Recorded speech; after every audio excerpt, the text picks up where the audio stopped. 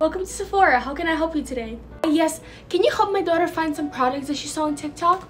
Alright, baby. Tell the nice lady what you need. Um, I want the drunk elephant retinol serum. Yeah, whatever that is. I'm sorry, but how old are you?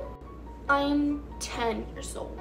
I think you're a little bit too young to be using retinol because it's used for anti-aging. Maybe we can look for something else. I want the retinol serum.